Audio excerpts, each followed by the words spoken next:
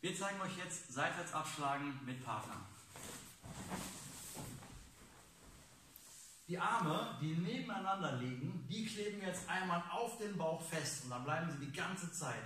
Mit der freien Hand schlagen wir gleich ab, aber dafür müssen wir uns erstmal zur Seite drehen, abschlagen, wieder zum Partner drehen, abschlagen.